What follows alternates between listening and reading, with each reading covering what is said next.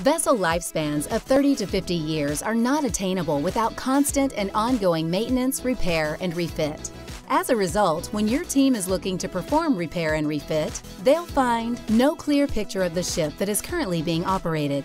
They still do not have access to as-built digital twins for many ships.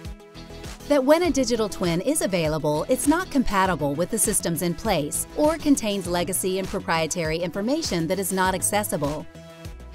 For your organization to make maintenance, repair, and refit seamless, it's crucial to ensure that your design and engineering teams can quickly capture the as-is conditions of an existing vessel when a digital twin is not available.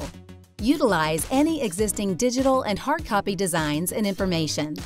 Deliver technical data packages and digital representations of the project that will always be accessible.